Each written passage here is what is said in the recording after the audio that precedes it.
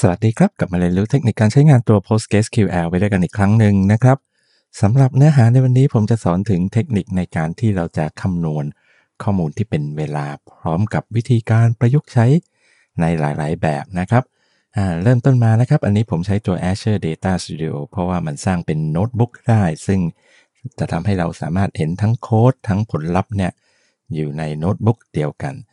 ในที่นี้เริ่มต้นมาผมจะสร้างตัวตารางขึ้นมาอันหนึ่ง จะสร้างลงในฐานข้อมูลตัวไหนของตัว Postgres เราก็ได้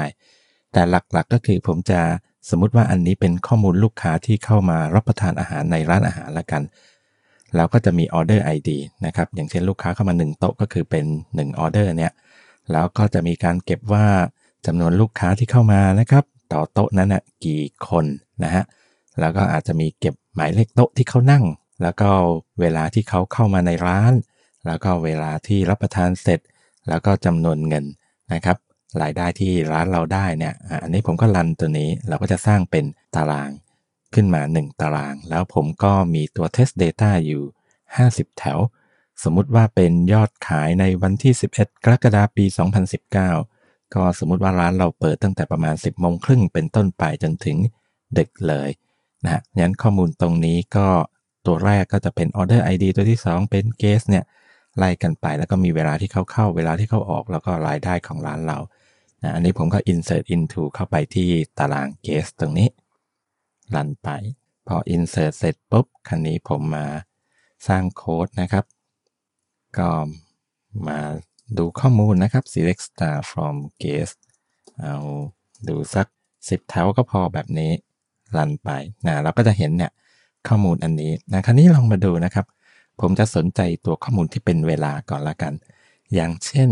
ผมบอกว่าเนี่ยผมต้องการหาว่าเนี่ยโดยเฉลี่ยแล้วลูกค้านะครับ อยู่ในร้านเราเนี่ยใช้เวลาประมาณกี่ชั่วโมงกับอีกกี่นาทีนะฮะเราก็สามารถทำอย่างนี้ได้นะครับ อย่างเช่นผมบอกว่าเนี่ย select เอา order id แล้วก็ number guest เนี่ย แล้วเราก็บอกว่าเอา out time นะครับ เวลาที่ออกลบเวลาเข้าเนี่ย จากตารางนี้นะแบบนี้ ให้ดู 10 แถวก็พอนะครับ แล้วก็ลัน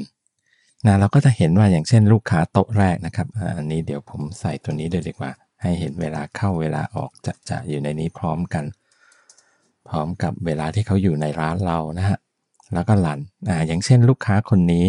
เข้ามาตอน 10โมง35 แล้วก็ออกไปตอนเที่ยง 36 นาทีเนี่ยก็เท่ากับ 2 ชั่วโมงกับอีก 1 นาทีแบบนี้เป็นต้นนี่สมมติผมบอกว่า time spent แบบนี้แล้วกันตั้งชื่อคอลัมน์ให้ก็ได้นะครับอพอเราทำอย่างนี้ได้นะครับ เราสามารถเอาเวลามาลบกันได้ เราก็สามารถหาค่าเฉลี่ยก็ได้นะฮะอย่างเช่นสมมติผมบอกว่าเอานี่เลย select average ตัวนี้ของตัว out time ลบ in time from ตัว แบบนี้นะดูนะฮะแล้วก็รัน อันนี้เราจะได้ค่าเฉลี่ยออกมา ก็คือ 1 ชั่วโมงกับอีก 25 นาที คือค่าเฉลี่ยที่ลูกค้าต่อโต๊ะ นั่งอยู่ในร้านเรานะครับ จากตัวพวกนี้นะครับ เราก็ทำได้ตั้งเยอะแยะ เดี๋ยวผมขอ copy โค้ดตัวนี้มา เราทำได้ได้อีก เราก็มาเรียงได้ว่าลูกค้านะครับ from ตรงนี้แล้วก็มี order by ตัว time spent ตรงนี้ก็ได้ ให้เรียงลำดับเอาจากมากไปน้อยแล้วกัน แล้วก็รันดู อันนี้ 10 แถวแรกให้ดูเนี่ย ก็คือลูกค้าที่นั่งนานสุดเนี่ย นั่งประมาณ 2 ชั่วโมงกับ23 นาทีนะครับ เป็นแบบนี้อะคราวนี้จากในนี้นะครับ เราสามารถที่จะดึงข้อมูลเป็นส่วนๆ ก็ได้ อย่างเช่นผมอยากจะทราบว่าเนี่ยลูกค้าที่เข้ามาก่อน 11 โมงแล้วกันนะครับ มีสักกี่คนเนี่ย ผมก็สามารถใช้คำสั่งเนี่ย select แล้วก็ตัว in time แล้วก็ตรงนี้ผมเขียนได้ 2 วิธี อันที่ 1 ใช้ date part เราก็ผ่านค่าตัวชั่วโมงเข้าไป เราจะดึงตัวชั่วโมงออกมาจากตัว in time เนี่ยนะฮะ เราก็เขียนแบบนี้ แล้วก็ตรงนี้ก็บอกจากตาราง guess แล้วก็ where ตัว in time แล้วเราก็ cast นะครับ ใช้โคลอนโคลอนเนี่ย บอกว่าเป็น time น้อยกว่า แล้วก็บอกว่า 11 00 ตรงนี้ แล้วก็ตรงนี้อ่าตรงนี้ความหมายตรงแหวมาดูตรงที่แหวแล้วกันคือตัวสำคัญของเราเนี่ยตัว where ตรงนี้อย่างแรกผมจะดึงเฉพาะส่วนที่เป็นเวลามาเปรียบเทียบผมก็เนี่ย cast to in time อย่างเช่นถ้าเป็นแถวแรกก็จะได้ค่าออกมาเป็น 11.29 แบบนี้ แล้วก็ตรงนี้ถ้าเราจะเปรียบเทียบเวลาแล้วก็ผ่านเป็นสตริงเข้าไป แล้วก็สตริงตัวนี้จะถูกเปลี่ยนเป็น time เหมือนกันดูนะครับ ผมรันตัวนี้ จะมีอยู่ 5 แถวก็คือ แถวพวกนี้คือแถวที่ลูกค้าที่เข้ามาก่อน 11โมงนั่นเอง ซึ่งจากหลักการนี้นะครับ เราสามารถที่จะมาประยุกต์ได้อีกนะฮะเราก็บอกว่าถ้าอย่างนี้อยากจะดูว่าลูกค้าที่เข้ามาอย่างเช่นช่วง 10โมงถึง 11โมงมีกี่คน 11 ถึงเที่ยงก็คือทำคล้ายๆ เป็นฮิสโตรแกรมของเวลาที่ลูกค้าเข้ามารับประทานอาหารนะครับ เราก็ทำแบบนี้ได้นะครับก็ select ตัว date part เนี่ยแล้วก็บอกว่าตัว out ของตัว in time แล้วเราก็บอกว่าเขาตัวนี้ จากตาราง guess แล้วก็ group by ตัวนี้นะตรงนี้ผมอาจจะตั้งชื่อว่า period ล้วกันนะครับ ช่วงที่เขาเข้ามานะลองดูนะฮะ รันตัวนี้ เราก็จะได้เนี่ย period ที่เขาเข้ามานะครับอย่างเช่น 18 นี้ก็คือหมายถึง 6 โมงเย็น เพราะฉะนั้นตรงนี้เราก็น่าจะเรียงตามเวลาเอา 10 โมงขึ้นมาก่อน 10 โมง 11 โมงแบบนี้ เราก็มาใส่ order by ตัวนี้นะครับอ่าแบบนี้แล้วก็รันนะครับเราจะได้เนี่ย 10 โมงเข้ามา 5 คน 11 โมง 12 คนตอนเที่ยง เที่ยงตรงนี้หมายถึงเที่ยงจนถึง ก่อนบ่ายโมงนะครับ แล้วพอบ่ายโมงขึ้นไปก็จะเป็นอีกแบบหนึ่งแต่พอดี อันนี้เรามีแค่เข้ามา 10โมง11โมงแล้วก็เที่ยงแล้วก็6โมงทุ่มหนึ่งสองทุ่ม แล้วถ้าตรงนี้นะครับ period ตรงนี้เนื่องจาก date part เนี่ยส่งค่ากลับมาเป็นข้อมูลที่มีทศนิยมเนี่ยเราก็สามารถที่จะแคสตรงนี้ได้นะครับ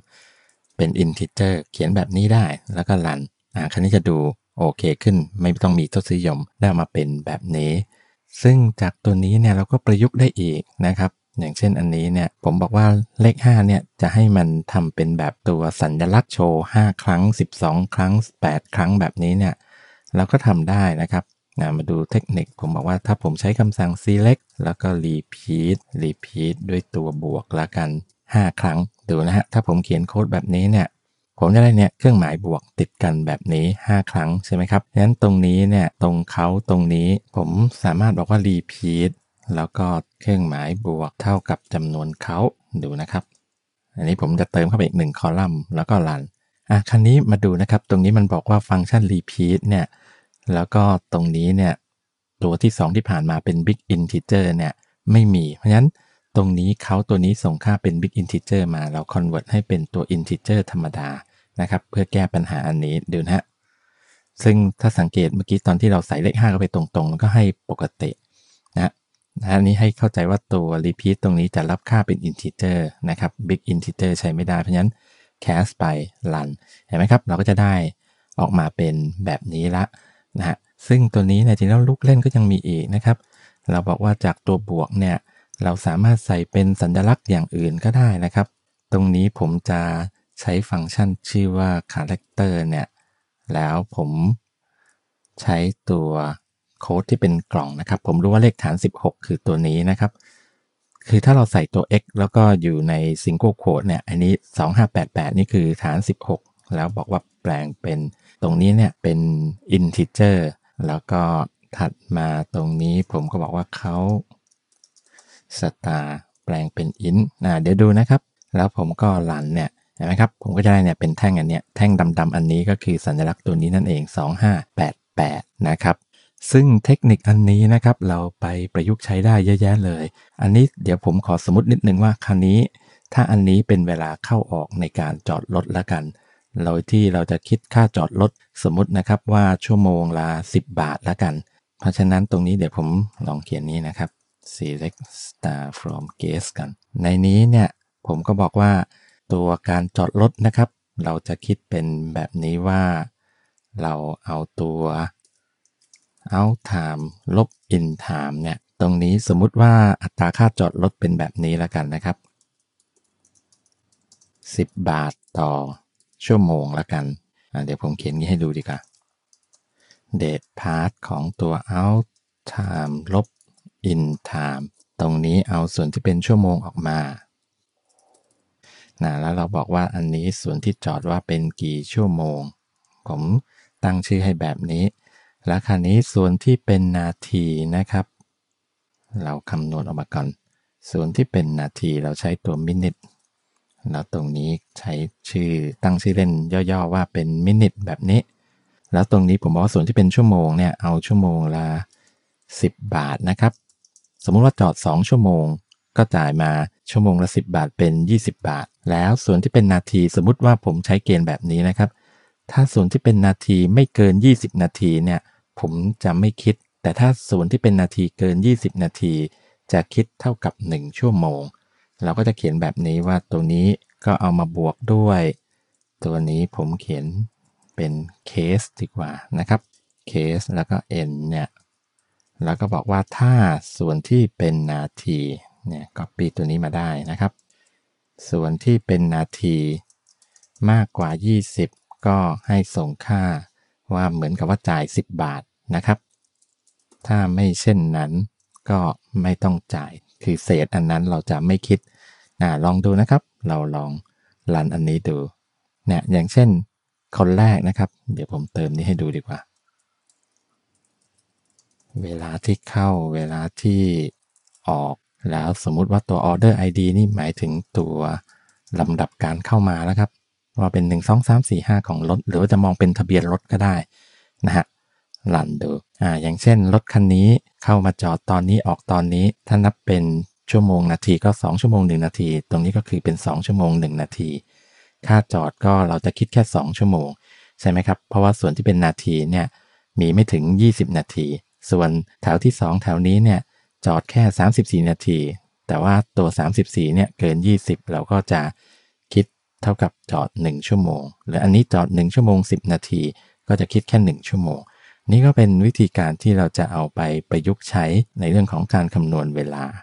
เราจะไปประยุกต์กับการคำนวณค่าล่วงเวลาหรืออะไรก็ได้อีกเยอะแยะเลยนะครับเอาละครับสำหรับตัวอย่างเนื้อหาวิธีการคำนวณเวลา โดยตัว PostgreSQL ในวันนี้ก็ขอจบลงเพียงเท่านี้ ขอบคุณสำหรับการติดตามรับชม สวัสดีครับ